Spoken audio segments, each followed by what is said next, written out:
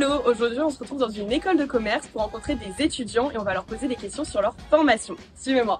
Pourquoi tu as choisi une école de commerce? Parce que j'aime bien tout ce qui est relié à la vente, tout simplement. Pour le côté un peu pluridisciplinaire et le fait que les professeurs soient pas uniquement des professeurs euh, chercheurs, mais qu'ils aient aussi leur entreprise et qu'ils puissent nous partager leur expérience. Quelle est la matière où tu excelles? L'anglais. La communication. La négociation. Le chinois. En vente et gestion. J'aime bien le côté relationnel. As-tu pensé à faire un Erasmus ou en as-tu déjà fait un? Oui, j'ai pensé à faire un Erasmus.